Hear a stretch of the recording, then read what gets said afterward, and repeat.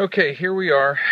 I had put uh, these things back in, all of them back in vinegar because the Coca-Cola didn't really seem to be the best.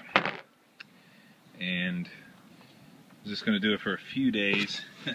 Ended up just leaving it in here for just about a week. So it has been in here a long time. And we'll see like metallic stuff going on. Still bubbling. See the foaming that's happened? Ugh.